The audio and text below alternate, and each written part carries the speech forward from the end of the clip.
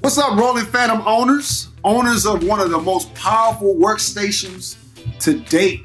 I'm super psyched about this product. I've been waiting for years for a product like this. It's a very powerful, creative, well thought of machine, and it just keeps getting better. My name is Jameze Latrail, and I'm psyched to be here. If you guys psyched to be here, let me get an F minor if you're with me. Give it to me, F minor. Yeah, I, I can't hear it. It's, it's virtually impossible. Anyway, you guys know why you clicked on this video. I typed it in text, and now I'm going to say it live for you. I'm here to talk about the second most powerful, most underrated, unspoken, unmentioned feature of firmware 2.0. Roland didn't even bother to put it on the website. No product specialists even talked about it. Shout out though to Ed Diaz and Scott Berry and all the other product specialists and even the marketing team. What's up guys? What was y'all thinking? What's what's happening? This feature is so hot. None of you guys cared to mention this feature. I really don't understand. I call it the second most powerful feature, but for me, honestly, I'm gonna personally say that it is the first and it's actually above multi-sampling for me. I'm gonna tell you why. Uh, I am a singer, songwriter, musician, performer. And this particular feature is what I needed for my live performance. It was the main reason I bought the Roland Fantom in 2019 with the anticipation that I would have a feature like this at me because one of the main reasons I bought the Roland Fantom in 2019 was to make money. That was my main reason to buy the Roland Fantom. I'm a professional, I'm a professional performer. That's what I do. I needed a machine that can handle uh, the demand that I had. And Roland answered that with, with firmware 2.0. But a hidden feature that they didn't bother to talk about. Let's talk about it. With this feature, I made over $2,500. That's 20 hours of $125 an hour. You know, I'm small fry. On Zoom shows, doing different Zoom shows for corporations and parties. I killed it. I gave audiences a full show, drums, bass, guitars, the whole nine yards, and I was able to play and have uh, and be accompanied by all the instruments of my production using Roland Fantom sequencer and this hidden feature. This hidden feature made it all possible and I wouldn't able to do it without it. Okay, I'm sure you guys are ready for this feature. You wanna know what it is? Get a little drum roll. The second most powerful, I'm sorry, the first and most powerful feature of firmware 2.0 is no other than group play. Group play, group play, group play, group play. Oh my God. Wait till you see what I got to show you. This thing is crazy. Everybody knows how Ableton Live works. You get the trigger clips, right? Here's the thing about me. I'm a neo soul R&B artist. And with my music, I have to give the people a feel. I have to feel this music and I have to be able to do this with ease and concentrate on what I'm giving. The last thing I need is a million buttons to have to push to make this all possible. Group Play made this possible. It's just bottom line. Here's the premise. So imagine, this is what I needed. I needed, my desire was to get to any part of the song just as if there was a live band backing me up. As if a band was paying attention to me and I was giving head nods and giving direction to where I wanted to go in the song. Which means any any parts of the song that I wanted to go to. And not only not only did I want to do that, I wanted I, and each part has to be had to be represented by a single button. But not only that, if I wanted to get into only singing and not pressing buttons, I wanted I wanted even buttons that can handle multiple parts. So imagine that. Roland Fantom has 16 pads on the right. With group play, some of those buttons can be single parts. Some of those some of those buttons can be com combination parts. For instance, if I want to sing the verse and go into a bridge and go into a chorus, I can do that with one button. Or if I wanted to go into a verse and stay there and loop that for a while, I could do that as well. Vice versa. I can get in there, I can create an intro, and I can create an outro. 16 variations, 16 parts of a song that I can jump in and out of at any given time. And that's what group play allows you to do. It's crazy. Let's get into it.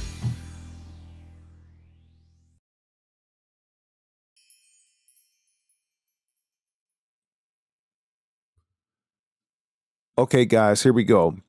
The song that I'm using in this demonstration is one of the songs I perform. It's called Giving You the Best of Me by Anthony Hamilton. It's one of my favorite songs to perform.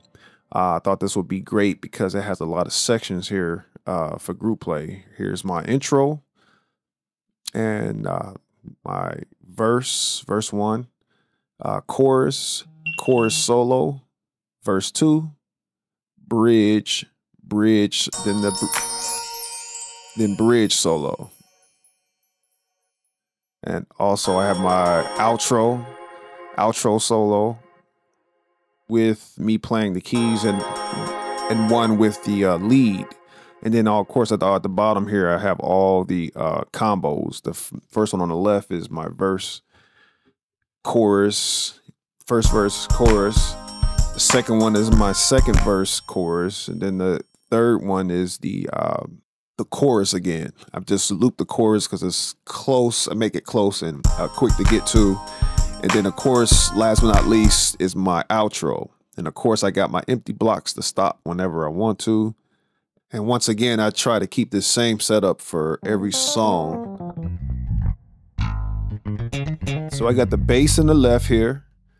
I love this bass. This is probably the best sounding bass that I've heard out of a keyboard. And I'm still building on it. And here's my my keys, my Rhodes in the right.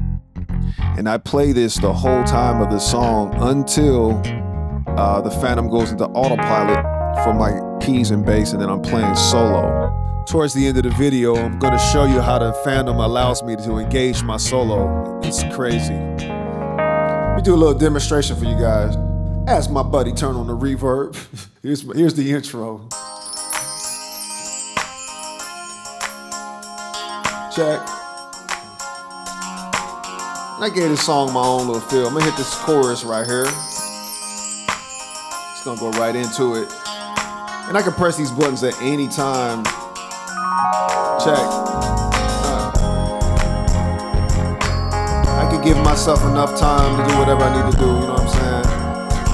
Now remember, I'm playing bass and keys up until I get to my solo. Now I'm gonna go into my combo. The bottom left, this is my verse. Check it. It's simple. I love it. Having you near me, having you near. Our conversation, outrageous. You smile, and I smile, and I say, Oh, this getting personal, personal, personal. Let's stay for a while and play. Girl, let's make this a moment. Whoa, giving you the best of me. Amazing, amazing, giving you the best of me. Oh, having you close to me. Yeah, yeah, just a little demo. Yo, yo, one of the things I want to focus on, guys, is these blocks, man. These empty blocks right here. I, I think this is a skill set that every Roland Fantom user is going to have to learn. And I'm going to go ahead and just call it time stamping. Um, the ability to jump to any group, a section of the song at any given note is using these empty blocks. Uh, we know that variation play and pattern play changes in a, in a four bar, but the group play plays it all the way out. Um, and I'm doing a gig and I'm doing like a gala or a corporate event. Uh, someone steps to the mic, I got to be able to jump to the breakdown or even in the song quickly. And uh, this thing is going to be really important. All right, it's time for the magic, guys. My solo section. Check this out. I'm going to play my chorus. We, here's my uh, solo section, but here's my chorus. in my chorus, I have to play the keys and the bass. But in the solo section, Fantom goes into autopilot for me because that group has the bass and the keys in it. And then I'm able to play my solo. Uh, let me try to get you. There you go. You hear the bass and the keys are all in it. And I probably should point out, guys, that this magical autopilot that I keep talking about uh, is nothing more than automation that was added to the piano roll via firmware 2.0. Don't want to confuse you. Let's start with the chorus, and then I'm gonna jump right into my solo.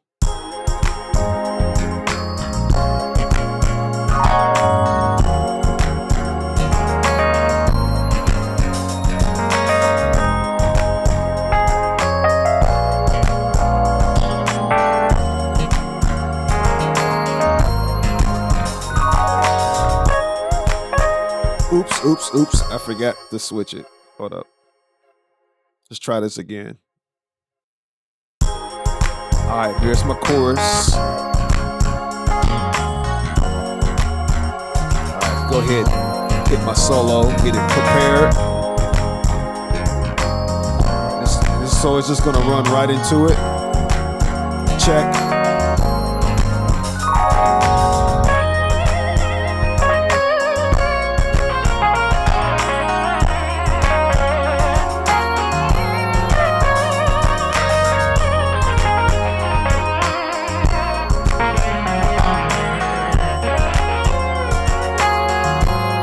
To the chorus. Yeah. Simple section. Let's, let's take it up a notch.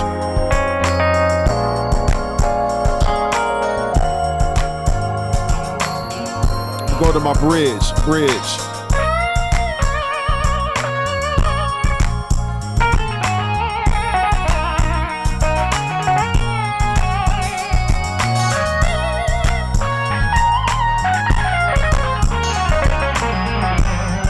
From the bridge to the chorus, solo.